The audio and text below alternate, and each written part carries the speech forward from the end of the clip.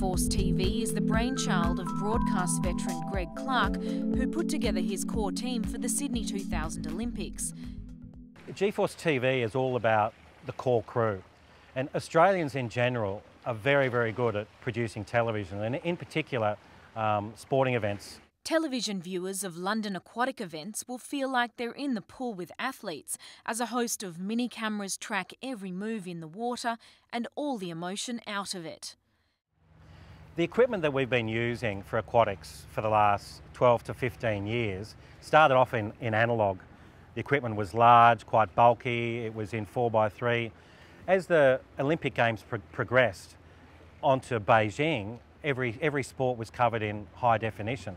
Those cameras got smaller, and including those cameras is the Mobi, MobiCam, which is a camera that tracks underwater. Uh, that camera tracks the full 50 metres underneath lane three, and it shoots lanes four and five, the two favourite favourite lanes. Keeps up with the swimmers the entire time. So the camera that's in there is a 16 by 9 high definition camera um, that can do as many laps of, of the pool as any, as any swimmer can and can keep up with them. So this technology is quite incredible to be actually be underwater swimming with those athletes um, is visually spectacular. G-Force TV's specialty underwater cameras and 130 crew are currently in London delivering their expertise to the world. The other camera that draws a lot of attention at any games um, is the dive cam. Now that, that camera is the one that is perched up against the, the 10 metre dive tower and tracks with those divers as they dive into the pool.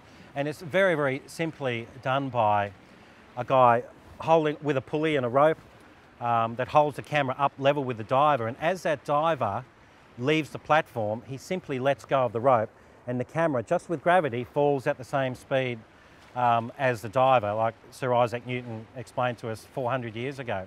Uh, the, the glass that is inside, that's on the outside of this tube, is a, is, a, is a dark, smoky glass, and then when it hits the water, it's actually clear. And that's because the exposure um, above the water um, is different to the exposure under the water. So it, it needs to be knocked back a little bit while it's going down to hit the water. And as soon as it goes under the water, it's clear, so the exposure is even the whole way down.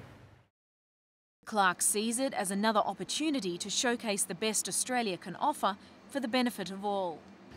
We are hard workers, we work together well as a team, and we travel well.